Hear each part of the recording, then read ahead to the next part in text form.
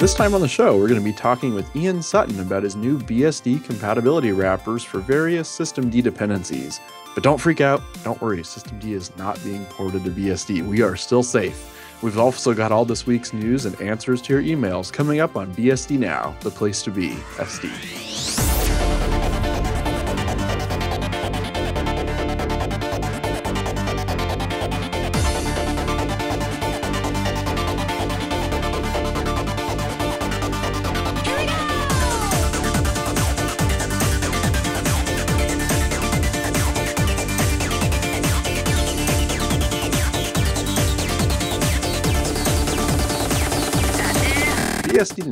Episode 71, System Disaster, recorded January 7th, 2015. Hey, I'm your host, Kris Moore. And I'm Alan Jude. We're glad to have you guys with us uh, this week. Uh, first of all, Happy New Year to everyone. Mm-hmm. Glad to be back and uh, exciting. Hope you guys had a good weekend. Uh, I don't know, did you have a long weekend, Alan, or did you end up working through it a anyway? little bit of both. Yeah, I- I- you know, there's always projects. yeah, do, I, I mostly spent it on projects and, and I did a bunch of FreeBSD stuff. But I was happy. I think uh, was it Friday or Saturday? I finished. I converted the last four machines in the house that still had Windows on the disk to PCBSD only. So I have no more bare metal Windows running anywhere. I do have it in a VM Mm-hmm. or two, which there's a the kids have a couple school apps where they have to run it in Windows for that. But VirtualBox works great. Yep. So I'm I'm very happy to see that. And they're all automatically updating now, so I don't Mm-hmm. even have to like monitor them. The kids come in in the morning and it says updates were applied last night. Reboot, and they do it. Like I don't have to touch them. So I'm very pleased. This works. It's uh, Yes. very cool. That was my weekend anyway. Mhm. But uh, of course, you guys, you know, don't want to hear about what kind of computers that we set up and did over the weekend. You want to hear the news this Yes. week. So first up, we got a lot of good information this week. So um, first, we're going to be talking about uh, OPNsense, which is a new uh, PF Sense fork has launched. Yes. So, uh, for those who don't know, PF Sense is, of course, a BSD based firewall project, and uh, OPNsense has forked off of that and just recently uh, started. And we'll have links to the PRs and all that in the uh, show and they actually have a, But, a uh, release already as well. Uh, Yeah, they do. So, they've already got one based on FreeBSD 10. Is that 10.0 or 10.1? do you um, recall? I think it's Stable 10. I'm not. I'm Okay. not sure exactly which one. Um, Okay. um, currently, the stable version of PFSense is still based on 8.3 or 8.4 actually. No, 8.3. Um, but they uh, they have a beta uh, based on FreeBSD 10, but it's not finished yet. Uh, okay. Well, and yeah, so soon. the OPNsense guys are focusing on uh, slightly different things. They want to uh, kind of adopt package and um, and kind Mm-hmm. of instead of using the uh, with PFSense, they would like take package and like rewrap them and make like a plugin. Uh, whereas Sure. on OPNsense, they want you to just you'll be able to just use the stock FreeBSD ports tree, and uh, so it seems like it'll Mhm. be slightly less stripped down, uh, which is something that Okay. some people want in a firewall. Nice, nice. So I guess the core team, uh, we have a link to that, but it includes a well-known Dragonfly BSD developer as Uh, well. So that's cool yeah, to see. apparently he was doing some work with PF on Dragonfly, and uh, that's how he got interested in this. Hmm, Okay. And we have links to all their sources up on uh, GitHub under uh, OPNsense, and that's OPN Sense. If you want to check that out, and you can also grab an image there and uh, let us know what you think about it and what you do with it. And uh, they also have some links which we have here for getting started. You know, some good stuff on their wiki. And we do plan on having them on the show next week to kind of talk a little bit more about the project, how it got started, why you might want to use it, what some of the differences are. So stay tuned. You'll want to check back in next week to hear that. Yeah, uh, and they've also got Okay. a wiki started uh, talking about the Mhm. initial setup and how to deal with that. Yeah, so you can. Is that an open wiki so people can go start helping with that? Um, it's self-hosted, so probably. Okay, well, cool. We'll go on over there and help them start filling that out. Okay, next article we have uh, Code Rot and why I chose OpenBSD. So we got a cool uh, blog article here about uh, first I'm talking about rotting code base, and in this example he's talking about a core banking system. So the author is going to go ahead and tell the story about how he spent his last days at his job removing just old dead code from a giant project, which uh, that happens a lot, Well, yeah, uh, uh, more often. I than guess he, the story was that um, he decided to leave and gave his uh, he had to be like three months notice or whatever, and uh, basically got permission to spend those last three months. What they wanted him to do was offload all the special knowledge he had about their application to the people that were staying, because you know everybody was responsible for a different part of the program. And uh, related to that, he also uh, got permission to remove a bunch of uh, stuff that wasn't used anymore. And uh, Mhm. after going through and chopping out giant chunks of the code, Uh, he found that really cathartic and found that you know they were finding bugs uh, they hadn't noticed before Sure. because that code wasn't used. But if someone ever went around to using it, it wouldn't have worked. Uh, so there wasn't much point in keeping it. And uh, so we found that it's very useful to go through and look for stuff that isn't needed anymore and and chopping it away. And that's uh, kind of after doing that, he kind of got interested in that and uh, fell in love with OpenBSD and their uh, mantra of don't worry about backwards compatibility. What we want is the best system we can have now, and uh, Sure. get rid of anything that's not Right. helping. He kind of compares it to the OpenSSL and the Heartbleed disaster too, which uh, from which LibreSSL was born, of course. But uh, this is all stuff uh, OpenBSD has pioneered, and so you know, as he put it, instead of just bike shedding like the rest of the internet, OpenBSD has silently started putting the beast into shape. So that's uh, quite a cool quote there. And uh, the article goes on to talk a little bit about OpenBSD's code review process, how it catches any bugs so that we don't have more heartbleeds in the future. And uh, of course, in OpenBSD, you're encouraged to run current, and the whole team tries to make it current as stable as it can. And you know why they do that? Because they actually want to Yeah. run it. They eat their own dog food.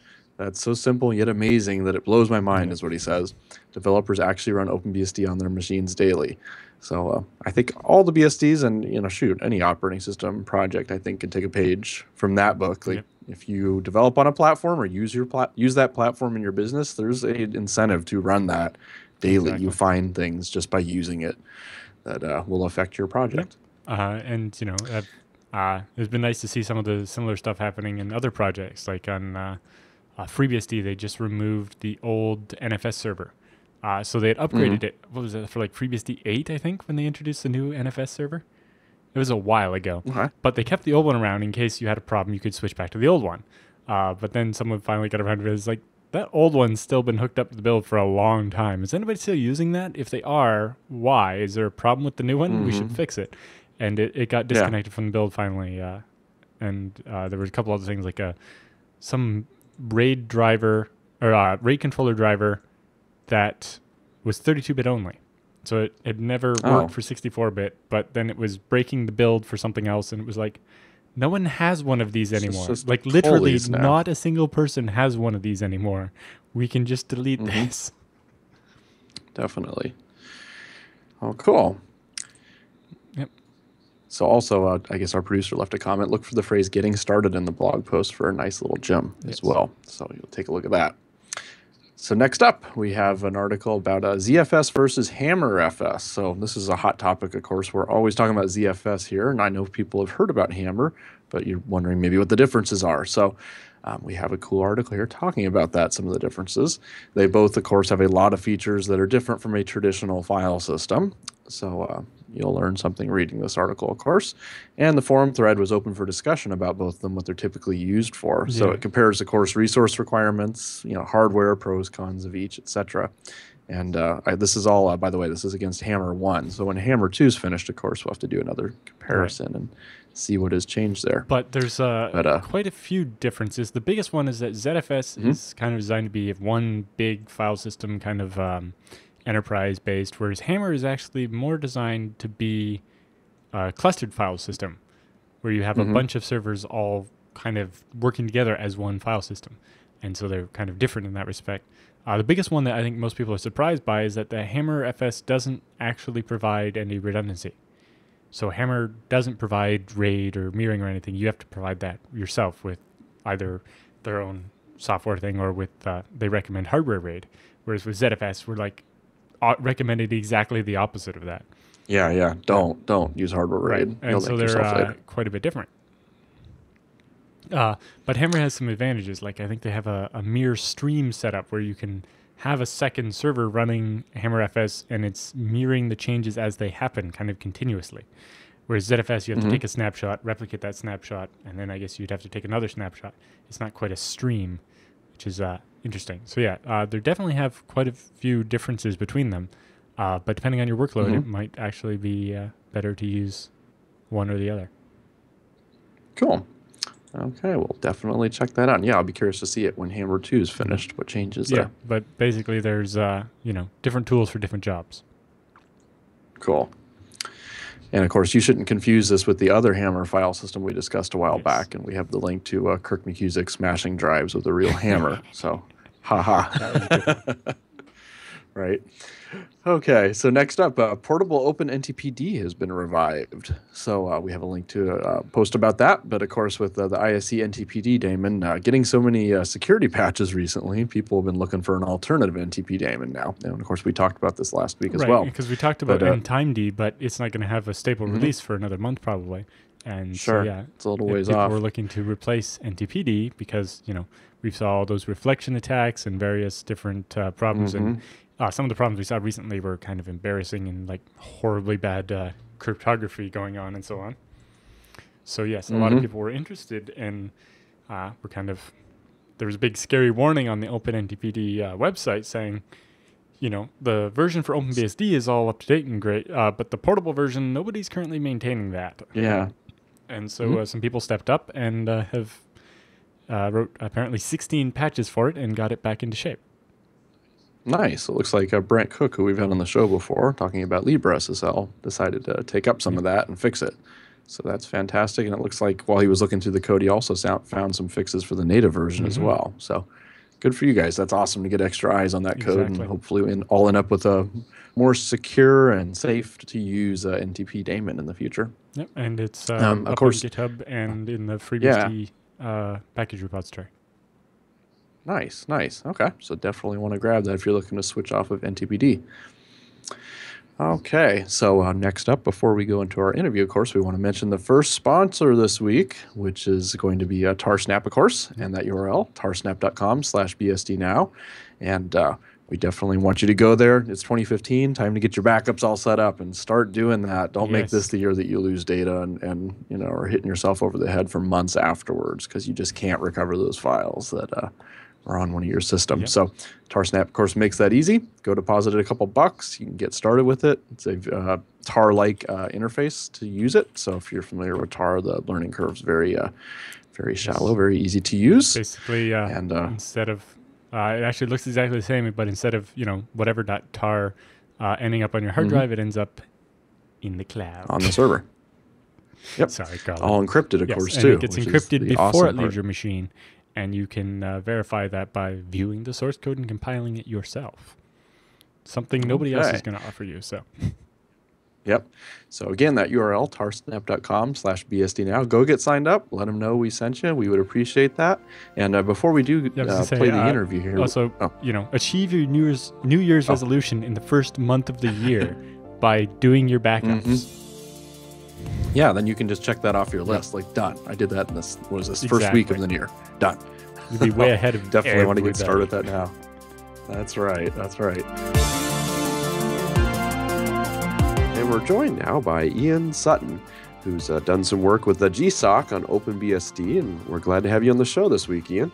Hey. Yes, thank you. Cool. Well, we're going to be talking a little bit about uh, some BSD replacements for uh, system D dependencies in a bit.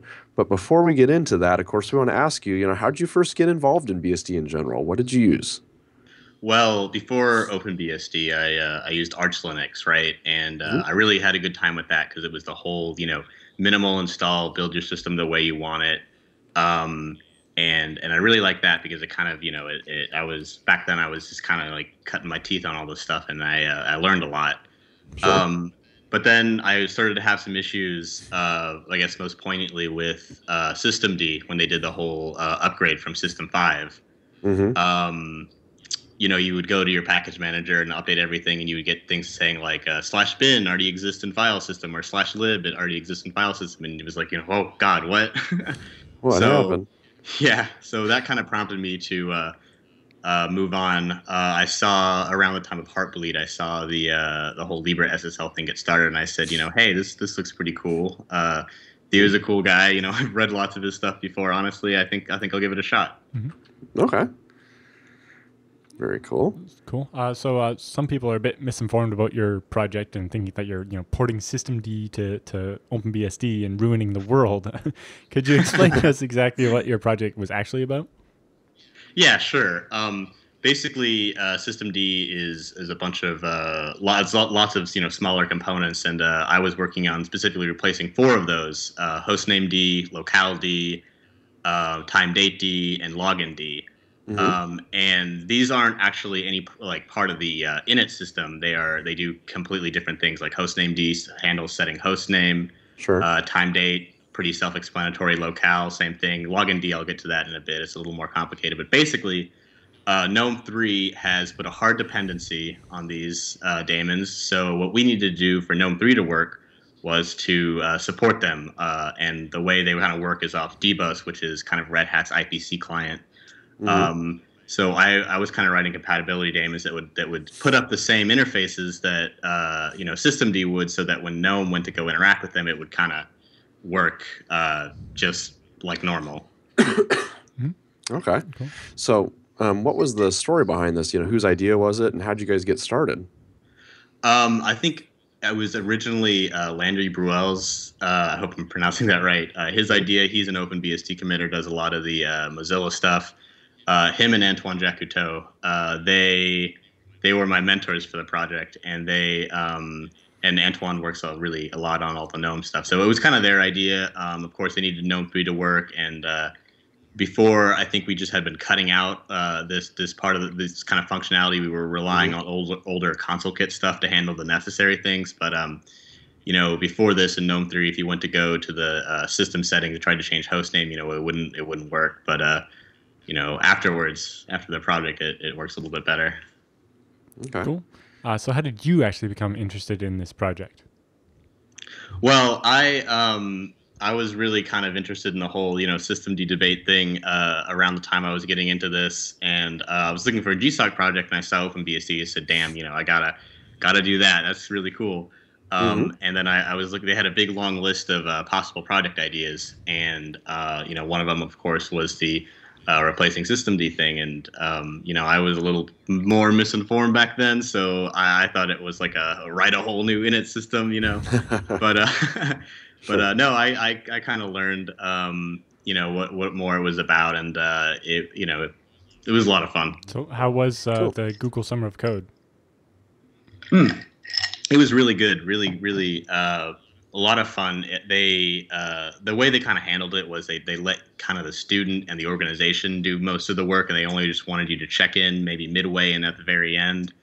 Um, it was it was a really great summer, and uh, I think I overall had a really really good time with it. Um, they it was it was definitely more focused on like just you know the, what the organization wants you to do. It wasn't it wasn't so much affiliated with Google. Right. You know, the only thing they really did was sign the paycheck and uh, make sure you mm did your work. So, uh, good good experience with that. Yeah. So uh, cool. You had a mentor for that. Yeah, um, that w- I was mentored by uh, Landry and Antoine. Mm-hmm. I mentioned earlier, um, two French BSD developer, Open BSD developers. Uh, sent them lots of emails. Probably got on their nerves a lot, but um, mm-hmm yeah, they're they're real cool guys. I uh, I really appreciate the time they gave. Cool. Ian, so uh, which BSDs is this going to be available for? Is this just OpenBSD or is it more portable for other ones? Well, uh, according to the outline of the project, it was meant to be uh, OS agnostic, so it's it's definitely going to be pretty easy to port to all the other uh, BSDs. Although myself, I work you know with OpenBSD specifically when I'm developing it.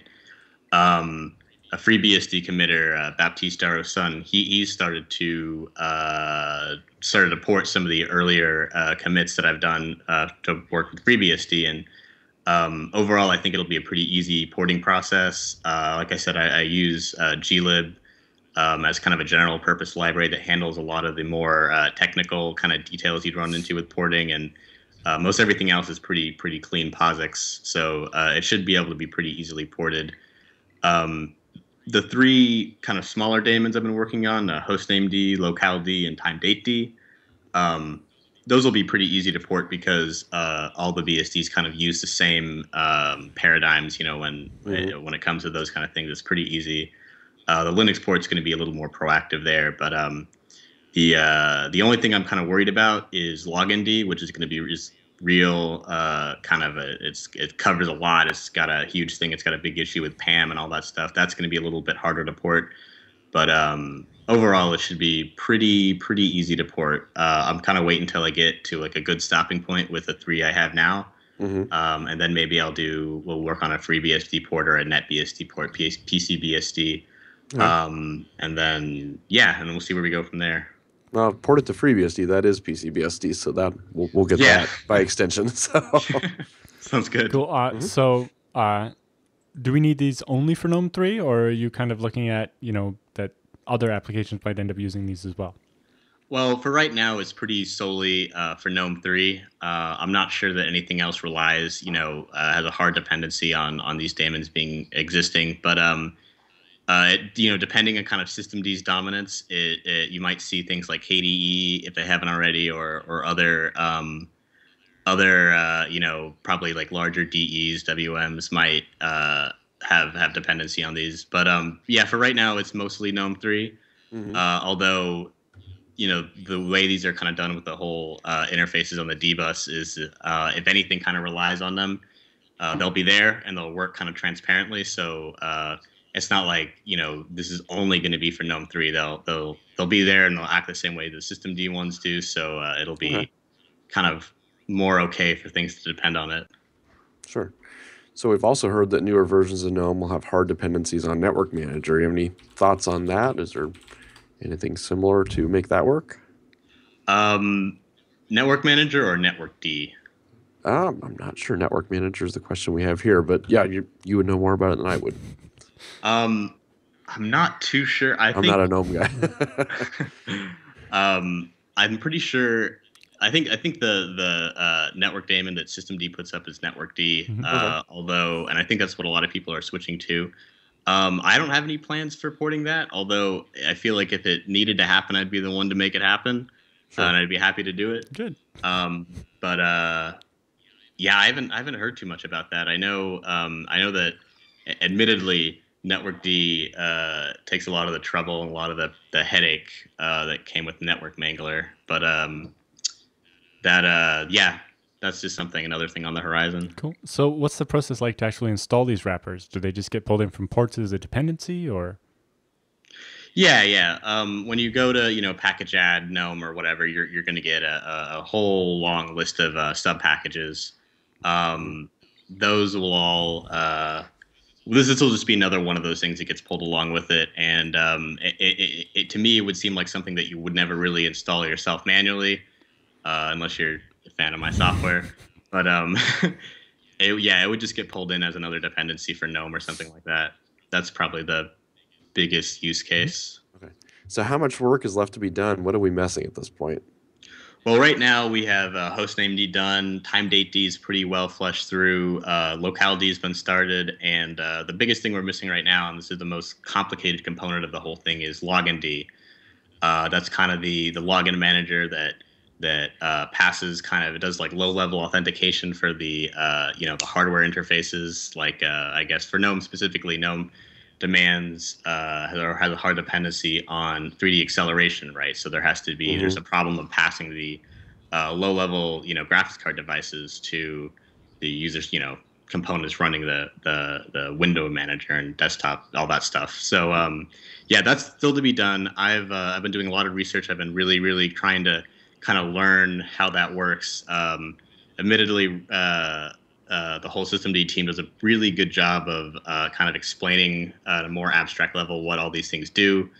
Uh, and of course, they, they kind of give you the uh, the dbus outline of you know whatever what methods do what, what inter- interfaces handle what. So that's what I'm going to be working on more. Um, I just got out of college uh, this you know for the semester, so Mhm. it's going to be I'm going to be doing a lot of work over the break to uh, to kind of start that and get that out of the way. And once that's done, uh, that'll be the whole the whole project as you know GSOC outlined. But um, you know I might be looking to do some some more stuff after that. So we'll see. Cool. Uh, Okay. So another uh, question people seem to be asking is, uh, do you have any plans to port this back to Linux for people that want to not use systemd on Linux? yeah, I do. Um, there we there's a uh, a bunch of people have been emailing me, uh, some from the Debian project who want to uh, port my stuff back to Linux, and um, you know I'd be totally happy to do that. Uh, I, I have a pretty pretty good you know grasp of Linux. I think I could be you know helpful in that. Um, but yeah, uh, the the the project itself was kind of outlined to be OS agnostic, Mhm. and uh, I kind of believe that um, at least the way I've been writing it would be that it would be, you know, more easier to port rather than less. Uh, so yeah, I think in the future you'll see some some Linux ports. Uh, although this, what I've written is nowhere near you know would work as a complete replacement for System D. Right. But what we're probably going to be seeing is more patchworks of uh, OpenRC or runit, uh, and then my you know components, and then it's uh, that, that kind of stuff. The Right. System D covers just so much that it's you right. know But this would be enough to get GNOME working again. yeah yeah yeah. This would be this would be good for the more like uh, I guess higher level RPC kind of clients and um, you know in in big DEs like GNOME or. KDE. Cool. So, is there anything else you want to mention before we uh, head off here? Um, I think that, that that does does a pretty good job of covering it. Okay. Uh, I think I think it's good. Well, keep up the good work Yes, and thank uh, you for off your to Bug and- Bapt and see when that's going to make it into our ports tree for FreeBSD. That, Yes. that sounds Um, neat. but thank you for taking the time to talk to us. Absolutely. Oh, Thank you thanks, so Ian. much. We're back, and it's time to take a look at, of course, the other sponsor for this week, which is going to be IX Systems, and that URL, ixsystems.com slash BSD now. Go there, fill out the form, let them know that we sent you. We would appreciate that. Get in touch with those guys. They will hook you up with anything you need, and uh, of course, within reason in the computing world. And we'll, we'll make sure it fits exactly the, the problem you're trying to solve, and, and not just sell you something that happens to be sitting on the shelf. Yeah. But uh, they have it looks like a new article this week talking about a little flash goes a long way. So what's yeah, this all so about, mostly Alan? they're talking about uh, tiered storage. So, uh, you know, Mhm. you have your all your files stored on um hard drives, and then uh, using ZFS, you can use SSDs to speed that up. Well, uh, other storage vendors like EMC or NetApp have had that for a long time, but the way they do it is they just have the SSDs as extra hard drives, and then they have some software that tries to decide which files to move to the SSDs, yeah, and it's always you're hot now. Let's yeah, put you and, here. and it's a, an actual move operation. Whereas w- with on your TrueNAS, uh, it's all done automatically by the intelligence, right? So it doesn't even have to be the whole file. It can be just like this range of the file is really hot right now, and so on. Mm-hmm. But the the biggest thing is that unlike a usual cache, which does what's called an LRU or least recently used, right? So it's got a list of everything that's popular, and uh, every time something gets accessed, it goes to the top of the list. And then um, if there's ever not room uh, to add something, then it deletes the thing that was used the longest ago and then puts a new thing at the top. Uh, But ZFS uses what's called an ARC or adaptive replacement cache. What it does is when it when something falls off the bottom, it goes on a ghost list, uh, basically a list of things that we've tried to cache this before, but it didn't end up getting used enough. Mhm. And so next time, if that file comes up again, it won't cache it on purpose. It will be like, I'm going to give somebody else a chance that might actually be more useful. And so it deals with Mhm. problems, you know, a certain file that gets accessed like once an hour or something. Maybe we don't end up wanting to put that in the cache because we have stuff that we're accessing every five minutes that would be better off Sure, putting in the cache and pushing it out and letting this other thing go back in. And it also helps. Uh, the way ZFS does it kind of divides into two lists. Actually, you have the most recently used, which is like the least, Mhm. uh, but also has the most frequently used. Uh, so that Sure. means that Long term. um, if you do something like scan every file in a directory, normal in a normal cache, that's going to you know you're just going to eventually push everything out again until you have only things at the end of your scan still in the in the cache. Uh, whereas with ZFS, that might ruin the uh, most recently used cache, but your most frequently used cache is still going to be there, and so it means that you actually get better performance no matter what. And then nice. So yeah, uh, you can Looks expand like that's that something with- TrueNAS yeah, uses, and right? then you can expand that by using SSDs to extend the size of your ARC, and it means that you get much better performance than just trying to pick which files should go on an SSD or uh, just a regular caching mechanism, uh, because it has this Mhm. much more intelligent cache. Nice. So one of the pull quotes at the end they say is uh, TrueNAS provides reliable, fast, and easy to manage solution with a significantly lower cost per performance and capacity than other legacy Mm-hmm. vendors. Hello, hybrid storage. So yeah, this is uh, if you guys are looking for some good file server performance, and you know you need to be able to uh, you know run your business on on uh, all this storage space, you definitely need to get in touch with the guys at IX Yes. Systems. Let them tell you about TrueNAS and what it can do for you. Yeah, and they have a, a great quote from a customer there. It's like, I'm comparing your solution to the one from NetApp, and yours is missing a zero off the end of the price. Right, right. He said storage this powerful should have another zero in Yeah, the price tag, exactly. which is pretty cool.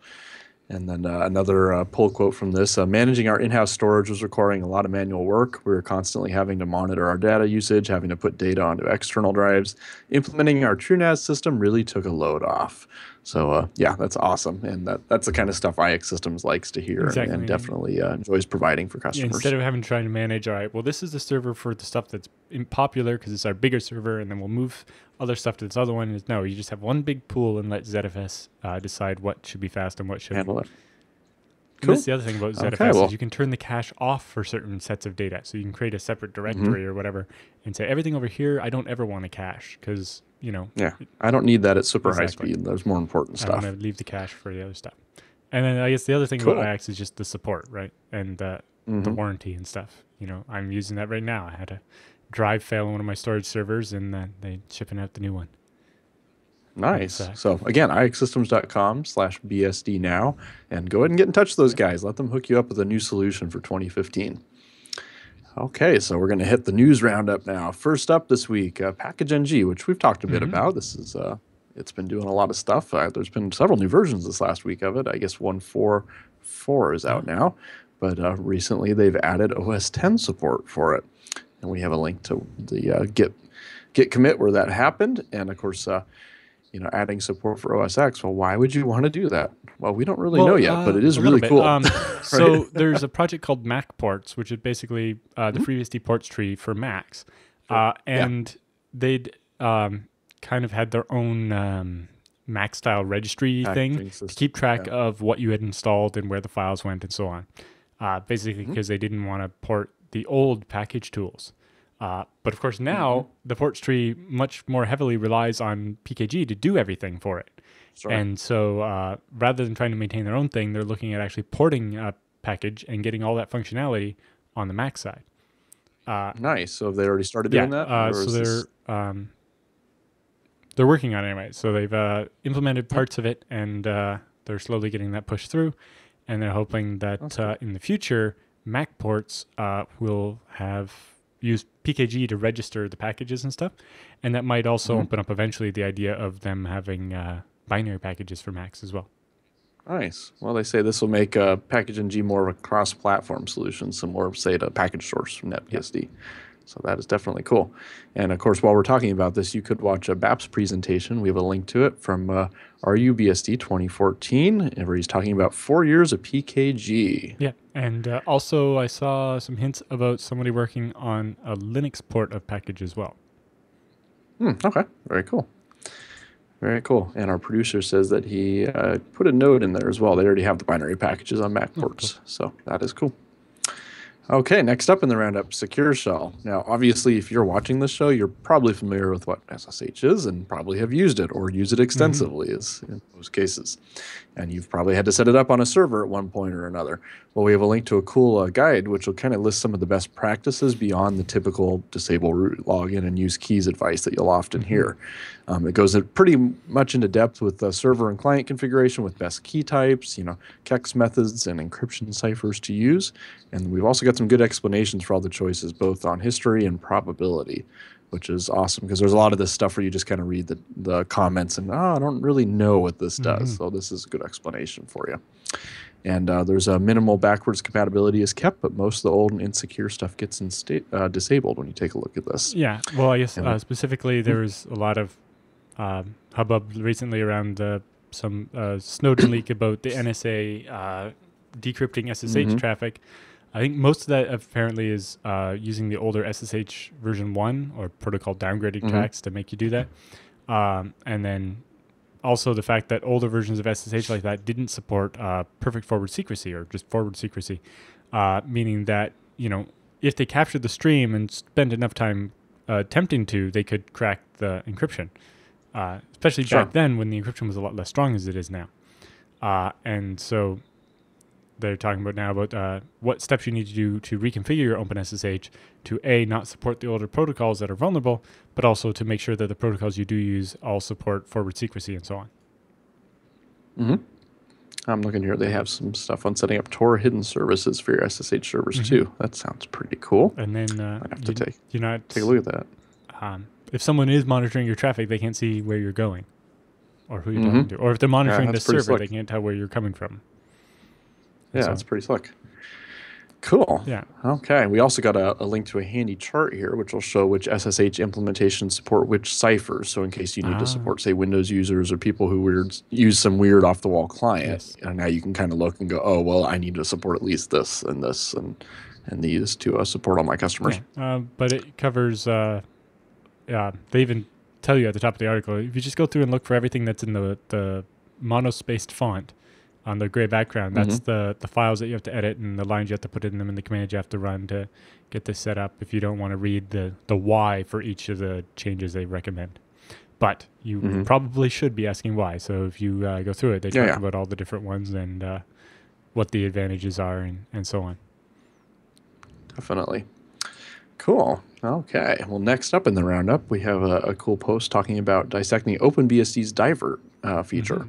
So uh, this is part of PF, of course, and some people know about it. If you've used PF, you may have seen this, but uh, we're going to there's a, a similar don't. facility for IPFW, which the uh, I Mm-hmm. think you used it, didn't you? I probably did. Well, uh, in your, your firewall, you were talking about using the the userland NatD, right? So Yeah, you'd yeah. have to divert to send it to the NatD. What did what was that called here? Yeah, the forward command. Oh, you used Is the forward it? command? Or- yeah, I think I used the forward command Normally, for you have the divert command. No, no, no. Here it is. Yeah, Yeah. divert. Yep, in my rules. Yeah. So uh, Yep. in PF and IPFW, what this lets you do is um, send the packet from the kernel in the firewall out to userland where you can have some program do something to Mhm. it. Now, uh, this one's more about analyzing the packet and figuring what it is and inspecting Sure. it and so on. Uh, but in the FreeBSD example that Kris is going to have hopefully next week, it'll be diverting Yes, it hopefully to next week. uh, a NAT daemon where you can actually, uh, you know, NAT the traffic and, and do address translation and so on. Yeah. But in general, it means Yeah, you can do anything you want to the traffic. You can send it off to your own program Mm-hmm. that you can do whatever you want to do. And very common examples, like say if you have an intrusion detection system, you like to use like Snort. So this would be a cool way you can direct traffic over to that. So that this blog post looks like it's going to be a first in a series, detailing all the cool things you can do with Divert and how you can do them. Yep. So definitely want to keep an eye on this. There's going to be some good info showing up here soon. Okay, next up, uh, screen recording on FreeBSD. We got a neat article about a topic we haven't really covered a whole lot on BSD now, but making videos, you know, making video content on BSD. I know uh, one of our PCBSD guys making a bunch of YouTube videos using some of the stuff we're talking about here in this article. But uh, in this post, you can learn how you can make screencasts with FreeBSD using uh, Kdenlive and FFmpeg, which is pretty cool. There's some notes about getting your USB microphone working, so you can do, uh, of course, commentary on whatever it is you're showing off on your desktop. Um, also includes lots of details and helpful screenshots throughout the process. So if this is something you're interested in doing, this is cool. There's open source tools which will allow you to do that.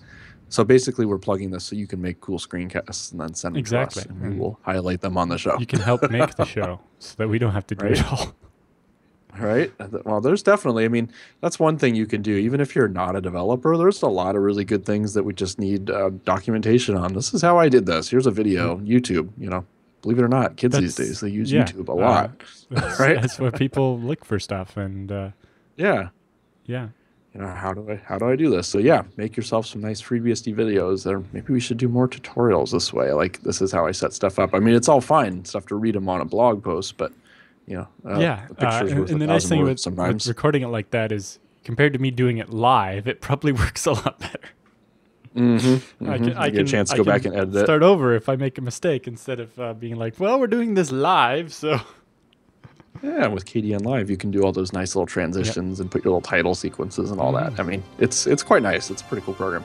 But yeah, definitely take a look at that so you can see how you can do some uh, screen capture on your free BSD box.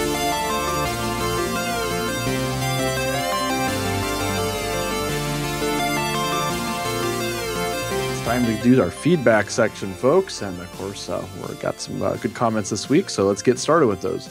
So, first one's from, I think, Cameo is how you pronounce that. Sorry if I butchered that.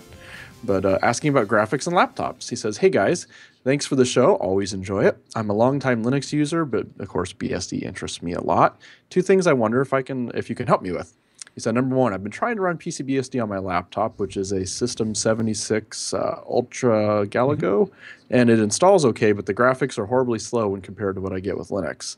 And he sends us the lspci output on Linux, which tells him it's some Intel Corporation Crystalwell integrated graphics. So he says, how can I get that card to perform better if I use PCBSD or FreeBSD? And that's kind of what's keeping him from running PCBSD on my laptop. So that's his first question. Let's just answer that first. So we had to look that up. I hadn't heard the term Crystalwell before, but I guess that's a newer Haswell. Would you say the Iris? Yeah, it's their high end version.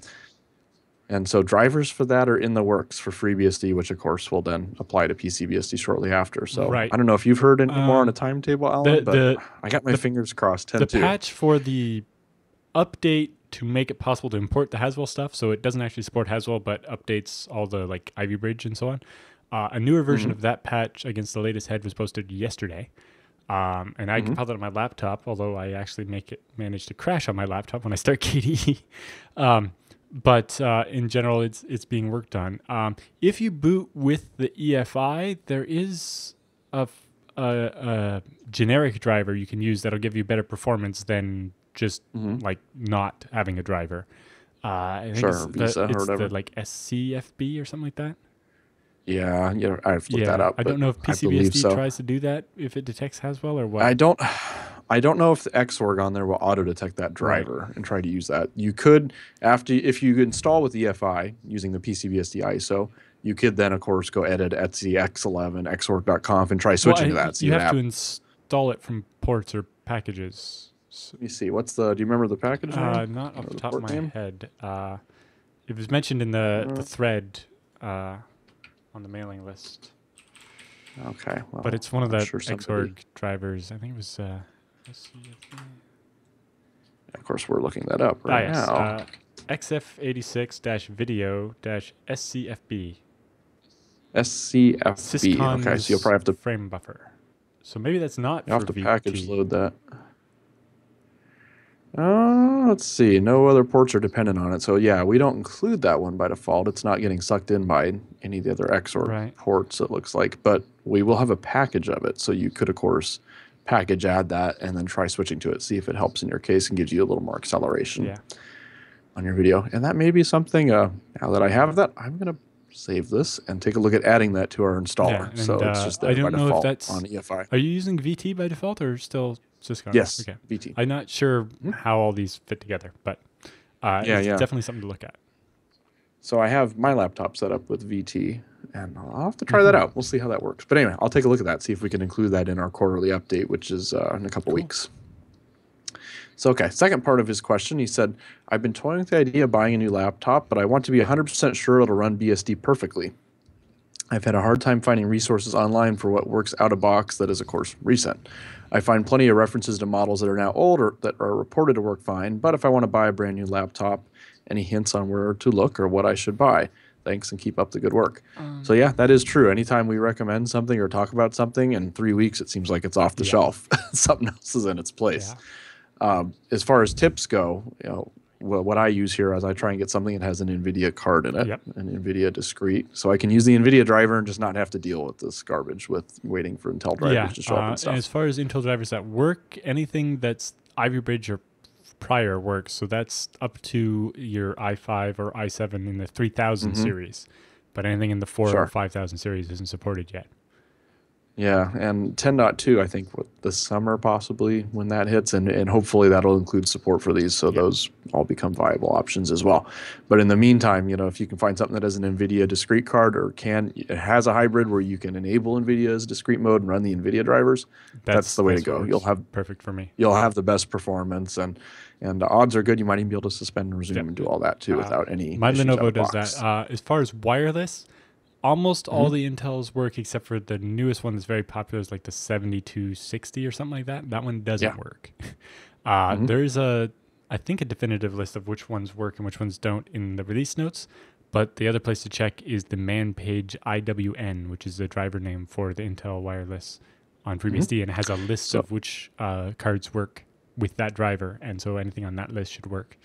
Uh, So one go ahead. Oh, I was gonna say one one cool thing you could do too is if you have a USB stick or you can grab a DVD, you can make a copy of the PCBSD install media, and if you're say at a store browsing, if the salespeople will let you just try booting off the DVD, there's a button you can click for hardware compatibility that'll check to make sure you have a working video driver, working sound driver, working Wi-Fi driver, and just double check make sure those hardware is all supported. Yeah. So Uh, uh, that's That's definitely something I've recommended to people is, you know, grab it on a USB stick and go down to your local store there and just Mhm. reboot a couple of the laptops off the USB stick and be like, well, which hardware works and which this works. doesn't? This works. yep. Yeah. That's definitely one way to try it. And that, you know, what's running on the installer is going to be pretty much what's running on the installed system. So if it works there, it should work both Because the, the hardest thing is that uh, even if we told you, you know, like for example, the Lenovo T530 works great for me, but they're uh, in later production runs, they might just randomly change which Wi-Fi they include. Or when I built mine, uh, Mm-hmm. mine was custom built to order. I had a choice of six different Wi-Fi's. I think uh, three which had support and three that did not. And uh, so you Mhm. know, it was kind of make sure you pick the right one kind of thing. And uh, the other resource is uh, the FreeBSD wiki has a laptops page uh, Mhm. where people have documented uh, like modern like stuff they've just bought and how it's worked uh, to kind of give some ideas. And uh, yeah, it's it's kind of too bad that it's uh, so hard to pick the right laptop. Nice. Too bad IX can't sell laptops too. At some point, right? That would be the I goal. That would be awesome. before, but it, laptops are especially hard. It's especially difficult because, of course, your upstream people you get the parts from may just decide to change Wi-Fi chipsets on in the middle of it. Like, oh, the first ten you ordered had this, but the rest have these. Like, Yeah. ah, yeah. Anyway, it happens. Okay, so the next one, the next comment here is uh, easy peasy, I Mhm. guess. So, uh, asking about setup recommendations. I'll let you read this so one says, out. uh, in the past, he's run his uh, own computer company, but it was a Windows shop. He says he had several clients using Citrix, and uh, he says he's since dumped Windows and his company, uh, uh, and he's personally been using Linux for several years. Uh, recently, he's been seriously looking at BSD. He's dabbled with uh, BeOS and Unix and Star System, Xerox, and all kinds of Mm. crazy discontinued OSs. Um, Mhm. so for his current predicament, he says that he has to set up a, a complete Citrix style system, uh, but not using Citrix to accommodate a staff of about 30 uh, teachers that are teaching through 20 different classrooms. Uh, some of them have uh, projection systems and about 100 students in an educational environment. So the staff need uh, web-based uh, in-house access to their e-learning system management, scheduling software, etc. And then they need word processing, spreadsheets, presentation software, uh, Mm. whiteboard stuff, internet, etc. The students need access to the e- e-learning system, uh, an e-reading library, and uh, some kind of workstation stuff, and uh, preferably access from their cell phones, tablets, laptops, etc. Especially for the whiteboard to be used in the classroom stuff. So he says, uh, what are some viable solutions to this problem? Um, it, Well, he mentions Moodle. right, yes, and be that seems like a option. good uh, for the web-based stuff. Uh, he he says Citrix style system, but I'm not sure what exactly he's referring to. I don't know if he means. Yeah, what aspect of Citrix is I it think that you want what he's in talking about is something like a thin client where the, the client machines Mm-hmm. aren't really doing anything. You're kind of remote desktop style into uh, a central machine. Mhm. Uh, it seems like in this case that uh, you know in the lab the students won't each have a computer they're sitting at. Maybe I'm not sure. Uh, but sure, sure. as far as the software, yeah, uh, your e-learning software and something something like Moodle will work. Uh, LibreOffice or whatever gives you word processing, spreadsheets, etc. I don't know about the whiteboarding software. To have something interactive with other people, that's the only ones I've ever seen were done in Flash. Sure. Um, yeah, so we kind of need more detail, but in general, uh, yeah, any of that web-based software, like I've run Moodle on FreeBSD before, that just kind of works. I think there's a port for it, and you just uh, set it up. It's simple uh, web software, uh, and then you know installing stuff so that uh, you have access to Citrix or uh, not Citrix, uh, Word and so on, or mic- uh, OpenOffice. Uh, shouldn't be a problem, especially with PCBSD. It's all kind of Mhm. useful. Uh, as I've said before, uh, you know, when we set up our office here, we had our programmer had never used Linux or BSD before, and we just sat him down at a PCBSD machine, and all he'd ever used was Windows. I don't think he'd even used a Mac before, and he just, you know, with KDE, there's a button where you would expect the start button to be, and and you know the things where he managed to find everything and uh, you know fire up his uh, favorite text editor and start writing code. Sure, sure. Oh, I know when I switched my kids this weekend, like a couple of them didn't even know I had changed their computer. Like they just booted up and like, clicked on wallpaper." Firefox and were playing their games. Like it just worked. you know? Uh, so in general, yeah, most of it should just work. Um, and then as far as for supporting the cell phone and tablet, that's really up to uh, which software you choose uh, for the learning Yeah. management system and, and not uh, the platform you run it on. But in general, it should Mm-hmm. Uh, be fairly easy to do this all on FreeBSD. Um, now, for VNC type access, if you want to do something more Citrix like, uh, I Mhm. think our very first tutorial uh, on BSD now was about doing that, right? I think so. A long time back, yeah. Yeah. Um, I think did we actually do it so that when you VNC'd in, it started up in a jail? I think that it was something like that. Uh, so you could actually do I think something so. It like ran that. Xorg in jail, yeah, yeah. so that you could have uh, each student have a separate jail on a server, and they could all connect in and uh, do it like that, and it would keep them isolated that Mhm. way as well. Uh, so that's definitely something Sure. you might look at. Okay. Well, cool. Hopefully that'll give you some tips to get started Yeah, out uh, there. A and bit uh, more information. I don't know what else to tell you. he's also looking for any help with hardware as well. Yeah. So I guess, uh, Call IX. I guess, yeah, yeah. There's a lot of stuff out there you could Yeah. use. You know, anything that'll that'll run on a BSD platform. Okay, so next up is from uh, Emmett asking about hardware pass through. He says, Thanks for an amazing podcast the three of us put in every week. And the third would be, of course, TJ, our producer. So thank you, TJ.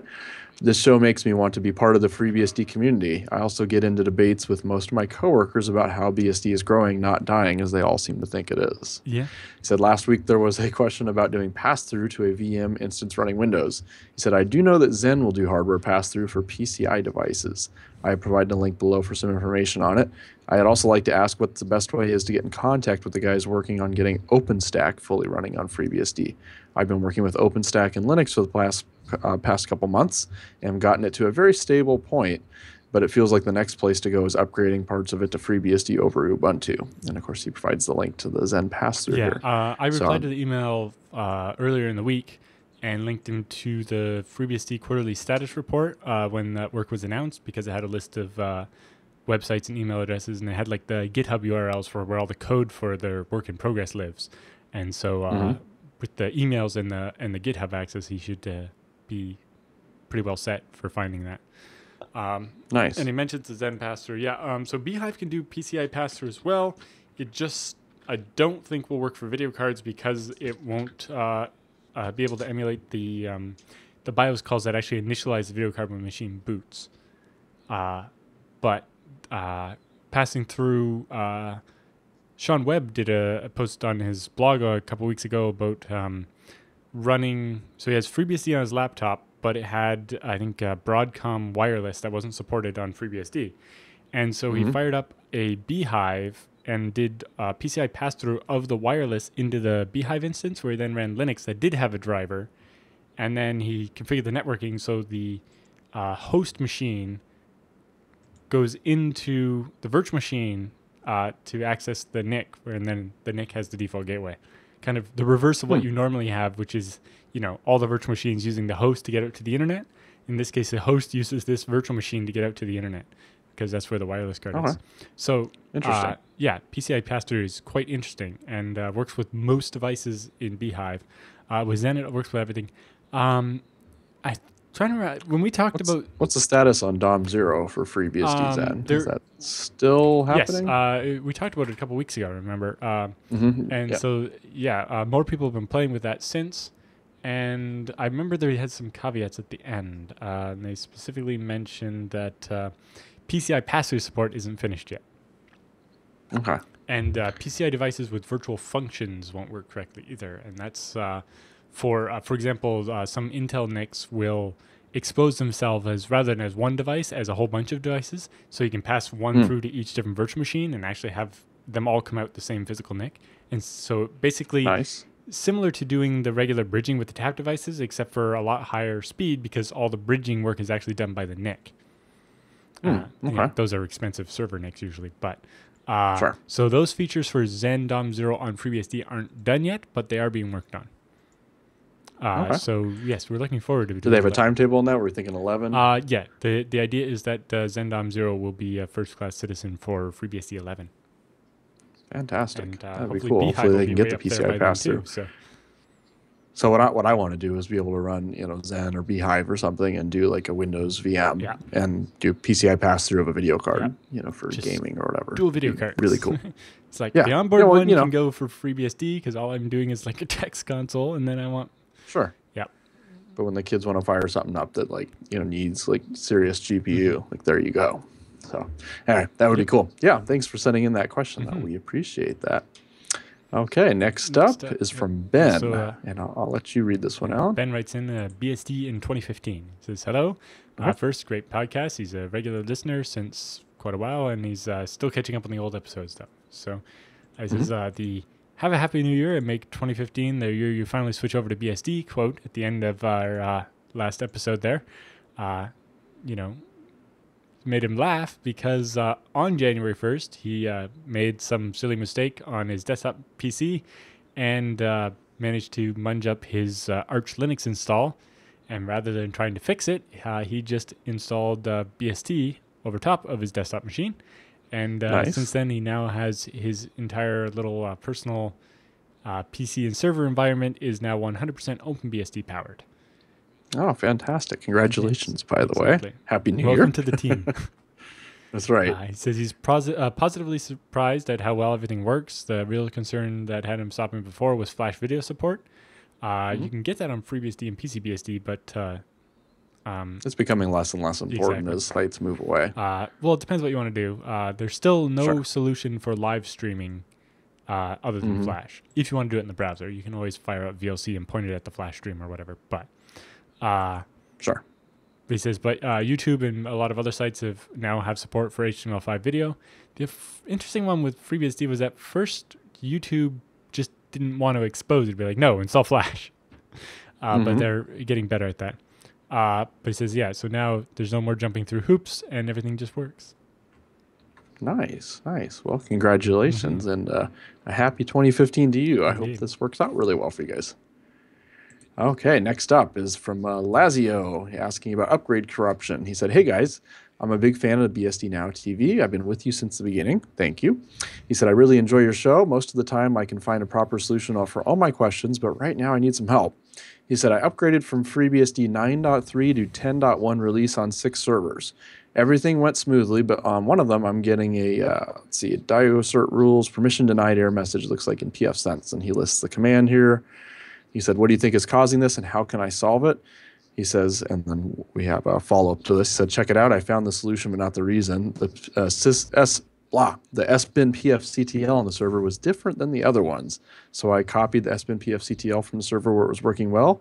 Now it works fine on service one as well. He's wondering what could happen. and so- I know we had some email yeah. about this So, offline. uh, in ahead, particular, uh, what happened here is when he did the upgrade, uh, like the FreeBSD upgrade, uh, sometimes what uh, generally the process is you upgrade the kernel, reboot, and then up and then install the world. And if you forget to do Mhm. that last part, then you have a FreeBSD 10 kernel and a FreeBSD 9 world. And because the uh, the API changed, problems. basically uh, PF got some extra features or whatever. Uh, it means that the old tool can't talk to the new kernel module, and that would cause a Mhm. problem. Uh, now, so I don't know if he just didn't uh, manage to, or didn't remember after the reboot that he wasn't done upgrading and had to run that uh, extra FreeBSD update install, or if uh, something went wrong with his FreeBSD update or what. Mhm. Uh, but yeah, that's what can happen uh, when you get that uh, out of sync uh, kernel and world. Uh, Mhm. I, I remember back in the FreeBSD four days, I had one one time where I hadn't rebooted yet, and then PS and top couldn't start, and oh, yeah. you couldn't do anything. That's always a little scary. Yeah. it's like, I can't run any shell commands. yeah, so it's like definitely. and you, and you end up in the rescue Yeah, directory. And then, uh, you know, but yeah, if you finish installing your world and reboot again, uh, that's kind of the thing is that it takes two reboots to finish the upgrade. Uh, then everything works. Nice, nice. Okay. Well, cool deal. Well, I hope we answered your question. It sounds like you got it fixed. Yep. So glad that uh, all your upgrades are all working now. Okay, so we do have some uh, mailing list gold Yes. as well. So I'll let you go ahead and get started with the first one here, Allan, about Protocol X97. Yes. Uh, the subject of this one is to all the wheels. Please activate protocol X97. Uh, people keep harassing me with subliminal sound, activating or active RFID and mind control. Prepare for the cyber war. uh, You know the picture. I don't have to explain anything else. Attack the penguins. And he includes his whole name, address. phone number, Phone number? everything. Yeah. Or two addresses, one in Germany and one in the U.S. Dayton, Ohio. Yes. Interesting. Okay. I think this is secretly TJ. right? Are you trolling TJ? Jeez. Come on. Yeah, that one's just. Uh, he, PGP random. signed it for good Yeah. measure. I don't know. That one's just random. That's bizarre. Anyway, that which list was that over? That was on FreeBSD questions. Nice. Okay. So next up, it looks like a response to Shema.c undefined behavior. Looks like from Theo here. So what's this one about, Uh, Allan? apparently, somebody found uh, that um, wasn't doing what they. Ah, they found an unnecessary go to uh, a variable defined far away from where it's actually used, uh, and a bunch of other stuff.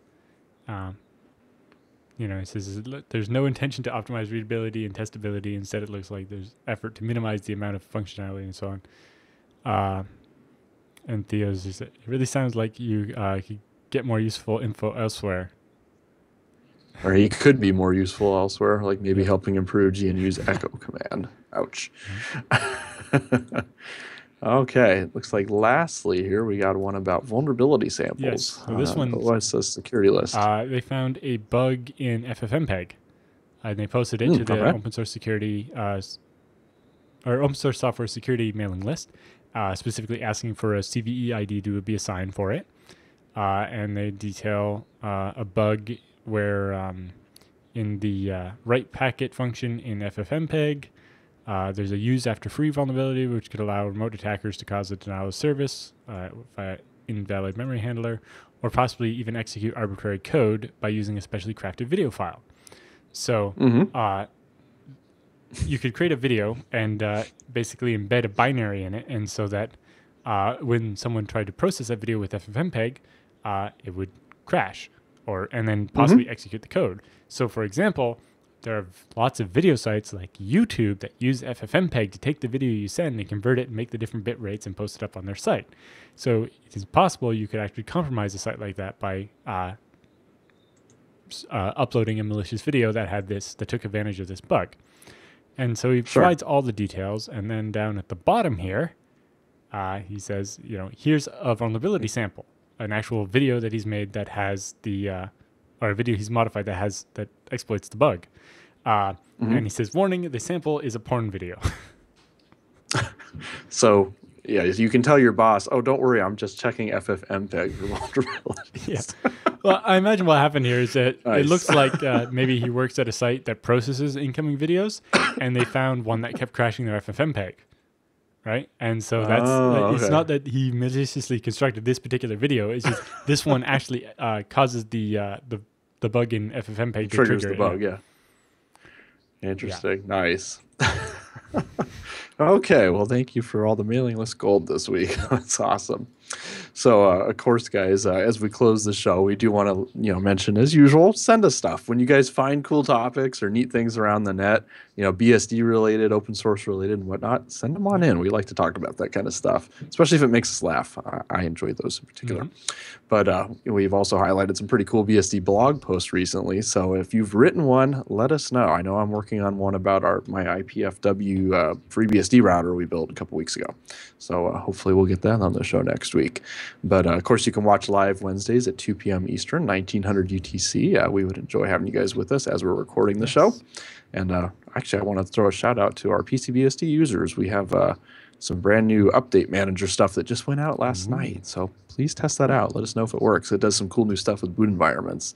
So uh, that was one thing I was talking about at the beginning of the show, where I converted all these computers to do automatic updates at night, and like it just does them in a new boot environment and doesn't screw up anything you're working on. Nice. And when you reboot, you boot into the new updated system. So uh, definitely some neat stuff. Neat stuff. So please let us know if you find bugs. Yes, and uh, we're also looking for people to interview. So if you're doing anything Mm-hmm. interesting, get in touch, and we'll uh, set up a time. Yes, we will. We make time. It doesn't have to be during our show hours. Right. So if you're asleep when we're recording the show or unavailable because you're working or something, we'll work around that. You know, we've recorded interviews. I think Saturday, Sunday, Monday. Yeah, we've done just about every day. I think weird times, whatever. Yeah, yeah, we've done late night, some nights, early other days. So yeah, We've even gone to other us. countries to record interviews. That is true. That is true. So yeah. if we can meet in a foreign country somewhere yeah. at a conference, like we will record the interview there. But just let us know you're interested in doing one, so we can put you on the schedule yes. and start planning for that and getting well, questions yes, uh, written and all even that. if you plan to run into us at a conference, if we know that, we can come up with questions ahead of time, yes. and then we'll be making it up as we go. It was funny. I was watching yeah. our interview with uh, PHK because we were talking about jails the other week and uh, mm-hmm. that's what people requested after Dan's uh, interview as the the post show thing. And uh, sure. I was like laughing at uh, you and I struggling to come up with the questions on the fly, and it's like, well, it's PHK. We if we had had a couple more minutes to think about it, we probably could have come up with even, you know, the interview was great, but sure. we probably could have come up with even more questions.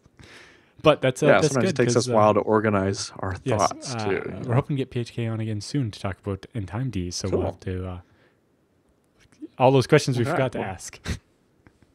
Sweet, and and I personally like hearing BSD success stories where you or your business mm-hmm. has converted over to BSD. Write us in. I mean, even if it yes, seems mundane think, or boring uh, to you, it's it's of interest to people to hear and read because they might go, "Oh, I'm going to try that config on my system," or "or I'm going to do something similar to that." I, I know the router thing, for example. We write these because people like to read them, and it gives them ideas. And especially if it's something nobody's you know, first time they've done it, they like having the kind of walkthrough like this is how we set this up this is how we did that mm-hmm. and and just give you tips going forward so yeah definitely send those in when you guys uh, do cool stuff like that with bsd any of the bsds we love them yes, all uh, was that was the other thing i remember at uh, MeetBSD uh, mm-hmm. I don't remember how many people were coming up and telling me how great that Voxer interview was. I'm like, well, the guy from Voxer is actually standing over there. you should tell yeah, him that yeah. too. Uh, but we'd love to have more interviews like that as well. Definitely, definitely. So, uh, again, thank you guys so much for being with us this week. We look forward to talking to you at the same time next week, and uh, we will see you next time.